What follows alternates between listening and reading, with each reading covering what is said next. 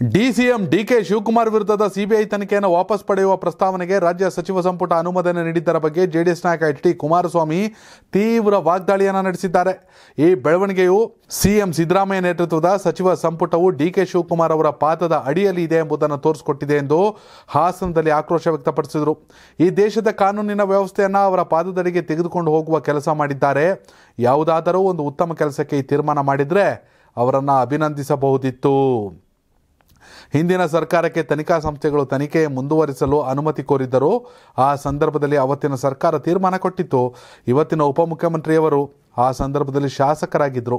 ಅವರು ರಾಜ್ಯದ ಜನರ ಪರವಾಗಿ ಕೆಲಸ ಮಾಡಿರುವುದಕ್ಕೆ ಬದಲಾಗಿ ಅವರ ವೈಯಕ್ತಿಕ ಸಮಸ್ಯೆ ಬಗೆಹರಿಸಲು ಉಪಯೋಗ ಮಾಡಿರುವುದೇ ಜಾಸ್ತಿ. ಅವರ ಶಾಸಕರ ಲೆಟರ್ಗಳನ್ನು ಇಂಥ ಕೆಲಸಕ್ಕೆ ಉಪಯೋಗಿಸಿದ್ದೇ ಜಾಸ್ತಿ ಎಂದು ಕುಮಾರಸ್ವಾಮಿ ಕಿಡಿಕಾರಿದರು. ಡಿ ಕೆ ಶಿವಕುಮಾರ್ ವಿರುದ್ಧ ಸುಪ್ರೀಂ ಕೋರ್ಟ್ ಹೈಕೋರ್ಟ್ನಲ್ಲಿ ಹಲವು ಪ್ರಕರಣಗಳ ವಿಚಾರಣೆ ನಡೀತಾ ಇದೆ. ತನಿಖೆ ಬಾಕಿ ಇದ್ದಾಗ ಈ ರೀತಿ ಕ್ಯಾಬಿನೆಟ್ ನಿರ್ಮಾಣ ತೆಗೆದುಕೊಳ್ಳೋದು ಸಾಧ್ಯವಿಲ್ಲ ಎಂದು ಕುಮಾರಸ್ವಾಮಿ ಹೇಳಿದ್ದಾರೆ.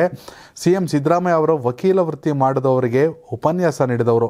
ಅವರ ಕ್ಯಾಬಿನೆಟ್ನಲ್ಲಿ ಇಂಥ ನಿರ್ ತೀರ್ಮಾನ ತೆಗೆದುಕೊಳ್ಳಲಾಗಿದೆ ಎಂದು ಅಸಮಾಧಾನ ವ್ಯಕ್ತಪಡಿಸಿದರು. ಬಿಜೆಪಿ ಸರ್ಕಾರ ಇದ್ದಾಗ ಡಿ ಕೆ ಶಿವಕುಮಾರ್ ಅವರ ವಿರುದ್ಧ ಹೇರಲಾಗಿದ್ದಂಥ ತನಿಖೆಗೆ, ಸಿಬಿಐ ತನಿಖೆಗೆ ಇದೀಗ ಅದನ್ನು ವಾಪಸ್ ಪಡೆಯೋಕೆ ಸಿದ್ದರಾಮಯ್ಯ ನೇತೃತ್ವದ ಕಾಂಗ್ರೆಸ್ ಸರ್ಕಾರ ನಿರ್ಧರಿಸಿದೆ.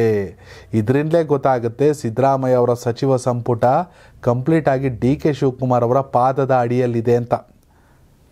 ಡಿ ಕೆ ಶಿವಕುಮಾರೇ, ಇಲ್ಲಿ ಸುಪ್ರೀಂ ಸಿದ್ದರಾಮಯ್ಯ ನಾಮಕ ನಾಮಕಾವಸ್ಥೆ ಅನ್ನೋದು ಮಾಜಿ ಮುಖ್ಯಮಂತ್ರಿ ಎಚ್ ಡಿ ಕುಮಾರಸ್ವಾಮಿ ಅವರ ವಾಗ್ದಾಳಿ.